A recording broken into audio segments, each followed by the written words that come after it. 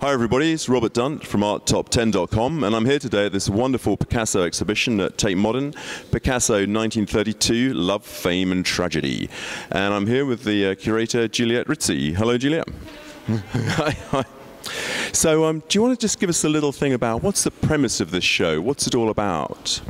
Um, so sure. Um, hello everyone. Um, so we uh, decided to focus on uh, one year of uh, Picasso's um, work and production, uh, really to sort of like have um, a, better sense and to give the chance to the public to really closely look at his work, and uh, you know we, we, we will hope that actually people will be embarking like in a journey really uh, through the months of January until the end of the year. I must say we also wanted to sort of include um, a couple of paintings from uh, the end of 1931, and we're actually standing just in front of one uh, of them um, to give a sense of what was the uh, status of play at the time for Picasso, who uh, definitely was and um, involved in uh, in the in the best circles of artists. He was um, very well known.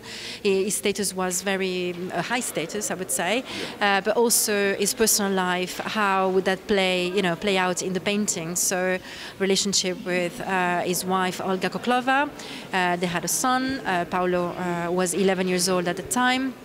Uh, but also the appearance of uh, Marie-Thérèse Walter, who was um, well, who was yeah. in a, a, relationship with him at that time. No, it's wonderful. I, I think focusing on that single year um, actually gives a real nice sense to it. It allows you to really focus on what was happening with him at the time. And I think it's quite nice. It allows you to break through some of those myths and see a bit more of the actual man himself. When you were putting the exhibition together, few, was there something about Picasso you didn't realize or think about? Did you come to know him in a different way than before? Well, absolutely. What was um, incredible and like very interesting is uh, one thing that comes to my mind is really looking at the archival material, for example, that we did uh, research for a long time, and uh, there, you know, it appears that he had really, um, well, he cared about his family very, very much uh, as a human being, as a, as a husband, as a father, uh, and at the same time, he was very torn with this other relationship that he was having with Marie-Thérèse Walter.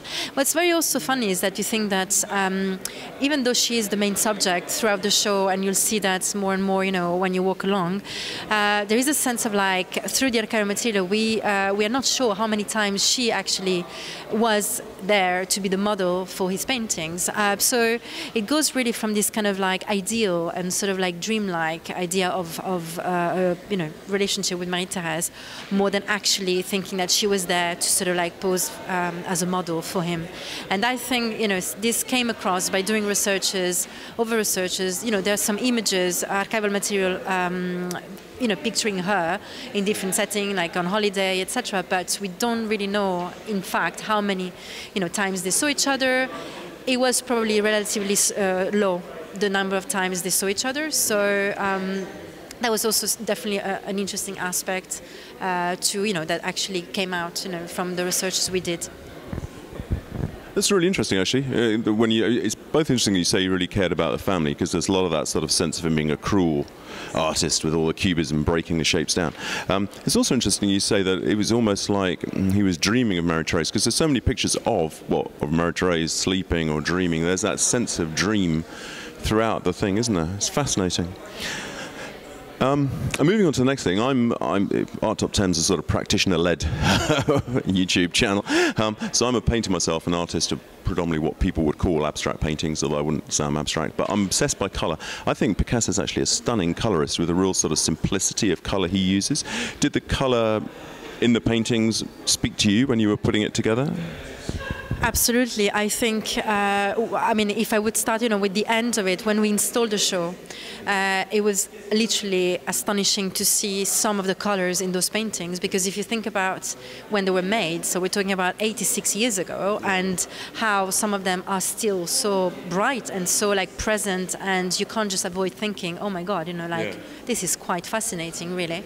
Um, and also, I think that it's important to say that he was. Uh, also, um, well, there are two things I would say. One is uh, about his um, relationship with surrealism, which is quite present in the show. Uh, so the idea of like you know block colors, for example, if we look at um, some of the paintings here, so you can really see that he's uh, definitely playing with that language, even though he's using his own uh, sort of interpretation to it. So he's never been affiliated with surrealism. He was definitely close to them. He was definitely someone who actually was you know knew about them, obviously, uh, but definitely was not a surrealist per se. And also one other thing that I would say is that even though color was definitely and it is dominant in the show, there are moments where um, he also did uh, some like yeah white on black, and that's um, a very important uh, element I think to the show because it was like really um, using these kind of canvases as moment of reflection and pause to sort of like you know move forward again.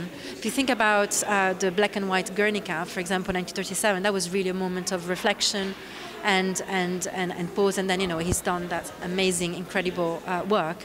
And the way we try to just like put them together in just one room to give a sense of uh, how important they are as well, because he did paint them, you know, throughout 32 and even a bit earlier. Uh, but definitely in 32 is starting really to sort of like erase, uh, rethink about the figure again and again and again and again. So you can see that through the succession of the, the paintings he does, as well as like the uh, sort of line and erasures of the black and white uh, paintings. That's really interesting. Actually, I love the way you, you, sort of almost say the black and white is that reflective period. The color almost sums up his emotions at the time. That's fascinating. And um, this press view is flocked with people today. They're everywhere. So, um, would you say, you know, the cult of celebrity that sort of we talk about a lot today, and that was obviously surrounding Picasso even at the time. What, what do you think it is that still makes him so fascinating to people today? Well, I think it's um, there are few, there are a number of things definitely. One thing that you know, struck me when we worked on this show is like how much. Um, art historical references Picasso has. And that, I think, it's very relevant also to a young generation who are studying history of art and are interested in the topic. And he definitely plays and, and places himself, you know, within the canon, which is something you can see also throughout the show. Uh, but also, I think it's just like his energy and his vitality and the way, I mean, he, you know, is able to just move from one style to the other and from one subject to the other. If you look at the end of the show, we have some crucifixion series. At the same time, we've got uh, flute players. He just like basically works on both together. So you've got color, you've got black and white.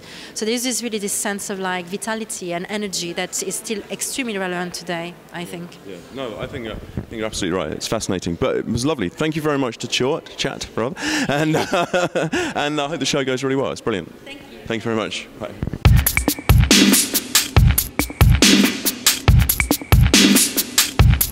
Bombuckler.